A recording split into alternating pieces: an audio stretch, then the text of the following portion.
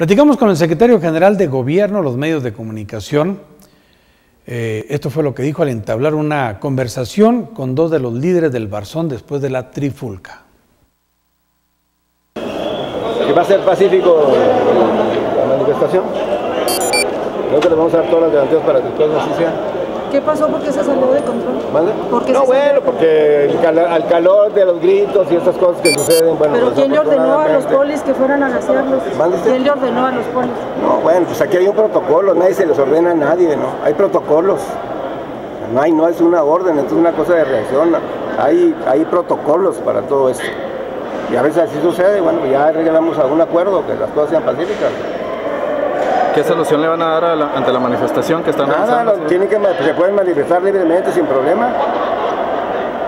Ellos exigen que la fiscalía pues no ha hecho nada al respecto. No, pues es que hay que ver del asunto de la fiscalía. Tienen identificado, ellos saben perfectamente quién es el responsable, ¿no? hay que localizarlo y aprenderlo, de eso se trata.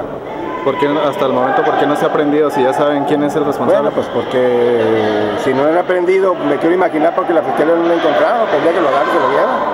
¿Por qué se cierran las puertas del palacio? Bueno, hay No sé. protocolo, hay protocolos.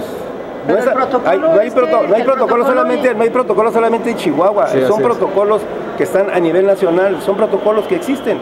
Pero Eso es lo que ocurre. protocolo que dice en este caso. Que Pues en protocolo cuando hay manifestaciones que se, se puede pasar de, a un evento más violento, Pero no bueno, pues se cierra. Bueno, te quiero decir que hay un protocolo. Por eso, pero Ese ¿qué es- dice el protocolo? Bueno, pues hay un protocolo que es lo que maneja la policía, ¿no? Y esto nosotros nos sujetamos a lo que ellos sometan y dicen, eh, y no les queda otra cosa más que acatarnos. Pero dimensiona el riesgo de lo que Pero te voy a decir una cosa. Eh, dime, di- yo te hablo de un protocolo y tú me dices que dice el protocolo. Bueno, el protocolo es que no se pueden meter a palacio, ese es, y, as- y- y rayar puertas y, y quebrar ventanas. Esa es parte para evitar todo esto.